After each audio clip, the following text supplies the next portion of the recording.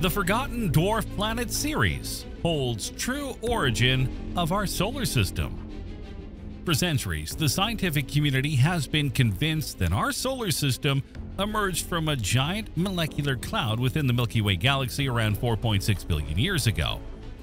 It was believed that gravity triggered the cloud's collapse, giving rise to the Sun and planets in their current orbits. What if this narrative is only half the story? What if, in reality, our solar system was transplanted into the Milky Way galaxy from the Sagittarius region? If true, this revelation would disrupt the very foundations of our scientific understanding. In a surprising turn of events, Billy Carson, a guest on the Joe Rogan Experience, shared shocking evidence on the Dwarf Planet Ceres that supports this alternative origin story. But what is Ceres, and why is there a growing push to reclassify it as a full-fledged planet? Most importantly, how does Ceres provide evidence for this bizarre origin story of the solar system? Join us as we delve into the mysteries of Ceres, examine Billy Carson's theories, and investigate whether they hold any truth.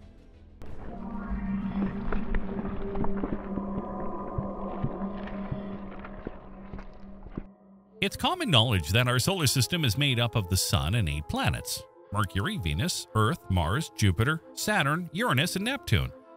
But what's often overlooked is that our solar system is also home to several dwarf planets, which provide valuable insights into how our celestial neighborhood came to be. Among these, Pluto and Ceres are particularly intriguing. Pluto was once considered the ninth planet, but was eventually reclassified as a dwarf planet in 2006 due to its small size. To put it in perspective, Pluto is incredibly small compared to Earth.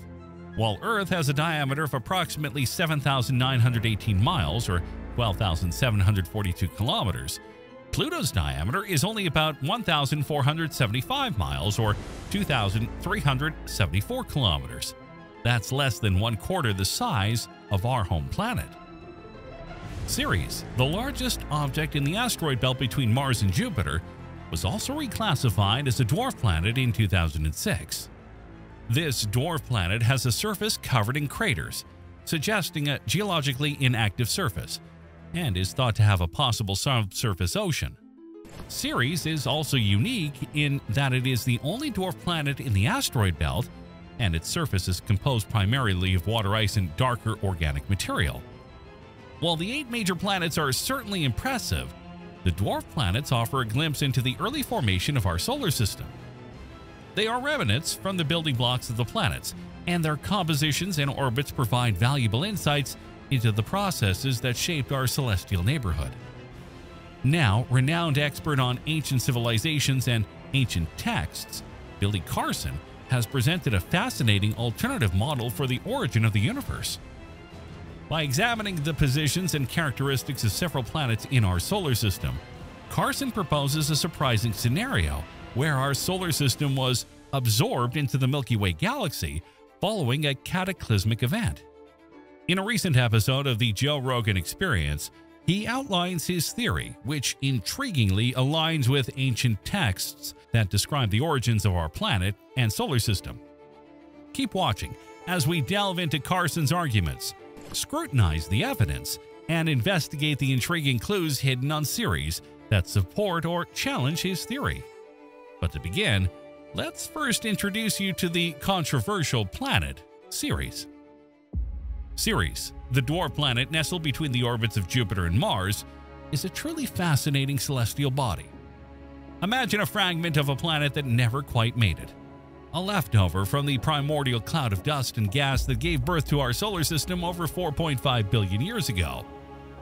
While its siblings, the likes of Mars, Venus, and Earth, grew into full-fledged planets, Ceres was disrupted by the immense gravitational pull of Jupiter stunting its growth. Yet, despite its diminutive size, this dwarf planet is a veritable treasure trove of scientific intrigue. Once thought to be a lifeless, inert world, we now know that Ceres is geologically active with evidence of ancient ice volcanoes dotting its surface. But it's what lies beneath the icy crust that really piques our curiosity. Thanks to the data gathered by NASA's Dawn mission, scientists believe that Ceres harbors not one, but potentially two reservoirs of liquid water deep underground. The implications of this discovery are tantalizing. Could this tiny, frozen world be a potential abode for microbial life? This fascinating world is both the first object discovered in the asteroid belt and the only dwarf planet on this side of Neptune's orbit. With a diameter of just 939 kilometers, Ceres may be small, but its geological activity makes it a giant. The ruins of long-gone ice volcanoes dot its surface, bearing witness to its active past. On the other hand, it's a small member of the planetary family because its mass is small when compared to other planets and dwarf planets, including Pluto. It's simple to write Ceres off as a little dot in the vastness of the solar system when you look at it from afar. In contrast to the imposing giants like Earth, Ceres may appear somewhat of an afterthought. However, you won't realize how fascinating this little dwarf planet is until you examine it more closely. For starters, let's talk about its size. Sure, Ceres is small compared to the giant planets like Jupiter and Saturn, but in the world of asteroids and dwarf planets, it is an absolute heavyweight. In fact, if you smush the entire asteroid belt together, Ceres would account for one third of the total mass. That's true, this little guy is practically a blue whale amid his rocky counterparts. But Ceres' intriguing nature goes beyond just its size. This object is kind of a cosmic in-betweener, not quite a full-fledged planet, but much more than a simple asteroid.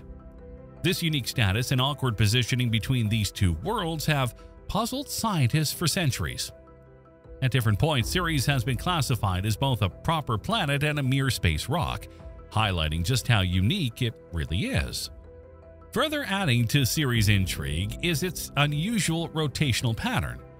For instance, did you know it has one of the shortest days in the entire solar system?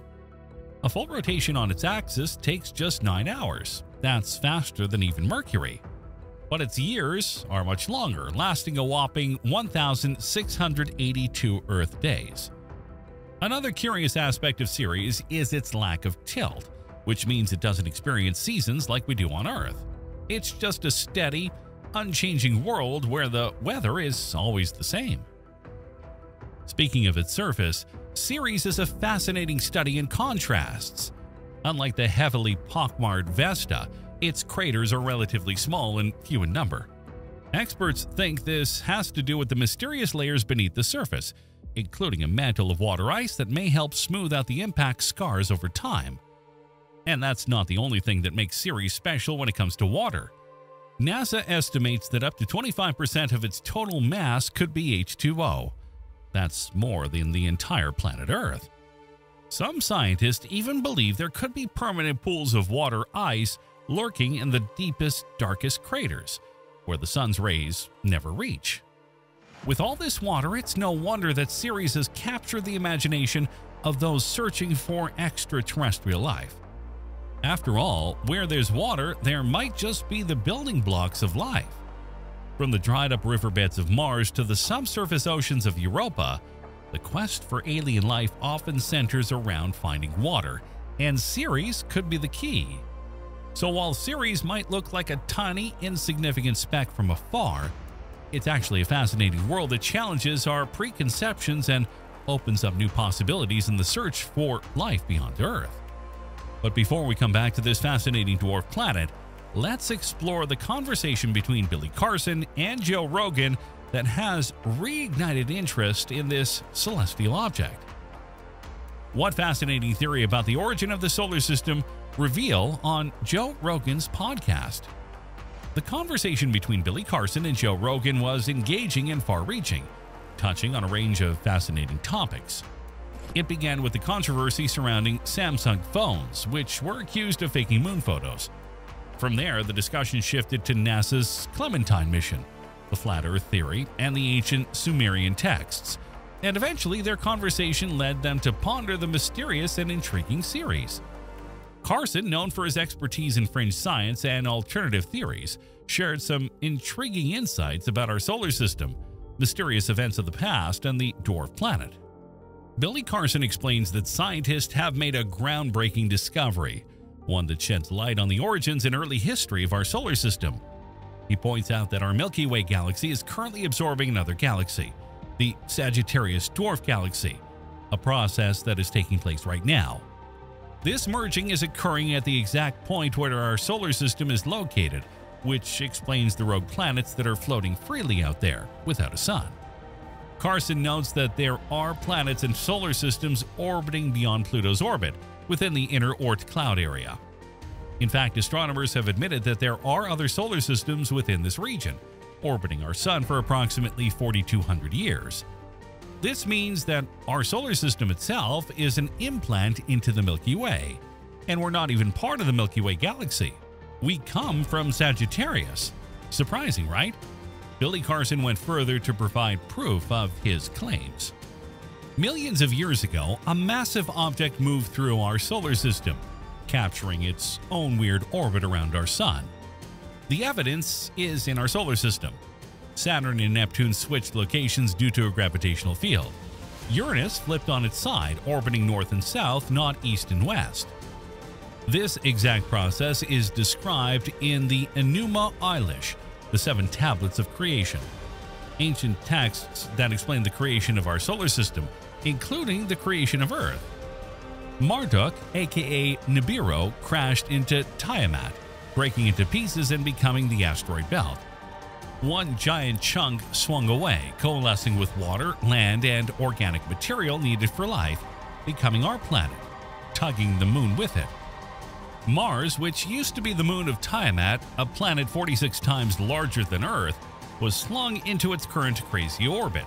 That's why Mars has a weird orbit, requiring NASA to rendezvous with it every two years when it's at its perihelion or aphelion. The axis of Mars is tilted 45 degrees on its equator, which means the object that crashed into the solar system shifted it down 45 degrees, a major global catastrophe. Now here's where the dwarf planet came in. He explains that Ceres was another planet that survived the Tiamat explosion and had the freshest water of any other planet in our solar system. It orbits near the middle of the asteroid belt with an orbital period that's unique. When scientists sent a probe to Ceres, they found lights on, even on the dark side. They tried to explain it away as ice particles glistening in the sunlight, but that didn't hold up. Billy Carson explained that scientists simply said, We don't know what it is. Before we respond and debunk some of these claims, make sure to hit the subscribe button and click the notification bell to stay updated with our future videos. Now let's address what Billy Carson said and point out what he got wrong while clearing up some misconceptions. Carson mentioned that our Milky Way galaxy is currently absorbing the Sagittarius Dwarf Galaxy, which is correct. However, the idea that our solar system originated from the Sagittarius Dwarf Galaxy and not from the Milky Way is a misconception. The solar system formed approximately 4.6 billion years ago within the Milky Way, long before it began interacting with the Sagittarius Dwarf Galaxy. The absorption of the Sagittarius Dwarf Galaxy has been happening over billions of years, but it does not imply our solar system is an implant from it. Carson talks about rogue planets and other solar systems within the Oort cloud, while it is true that there are rogue planets, planets that do not orbit any star, the suggestion that there are entire other solar systems within our Oort cloud is not supported by evidence. The Oort cloud is a theoretical cloud of icy bodies that surrounds the outermost part of our solar system, extending out to about a light year from the Sun. It's unlikely that other solar systems exist within this region. He also discusses the movements of Saturn and Neptune and the tilt of Uranus. It's true that Uranus has an extreme axial tilt, likely due to a massive collision early in its history. However, the idea that Saturn and Neptune switched places or that there was a large object that moved through the solar system and drastically altered planetary orbits is speculative. Current models of solar system formation explain planetary positions and tilt through processes like migration and gravitational interactions within the early solar disk. The reference to the Enuma Elish, an ancient Mesopotamian creation myth, as a scientific account of solar system formation is another misconception. Myths and ancient texts can be fascinating, but they do not provide scientific explanations. The Enuma Elish is a religious text and not an astronomical record. Modern astrophysicists rely on observational data and theoretical models to understand the formation of the solar system. Carson mentions Ceres, a dwarf planet located in the asteroid belt between Mars and Jupiter, having the most fresh water in the solar system. Ceres does have water ice, and it's a significant finding, but saying it has the most fresh water is an exaggeration. Earth remains the body with the most liquid water in the solar system. The lights on Ceres he refers to are bright spots on the Occator crater, which are thought to be salt deposits reflecting sunlight, not actual lights. Carson is correct that NASA's Dawn mission provided high-resolution images of Ceres, revealing intriguing features. However, the suggestion that these features are inexplicable or indicate something mysterious is speculative. The bright spots and other surface features can be explained through geological and cryovolcanic processes. Not some dramatic and the lights were on like they were switched on by extraterrestrials. While Billy Carson brings up some interesting points and real astronomical phenomena, a lot of his interpretations and connections often lack scientific support and are mostly speculative. Now over to you. Do you think Billy Carson's theories are right? Or are they simply sensational? Feel free to leave your answers in the comments below. If you liked the video, then you should check out the one on your screen. This video on the five known dwarf planets of our solar system will blow your mind. Thanks for watching.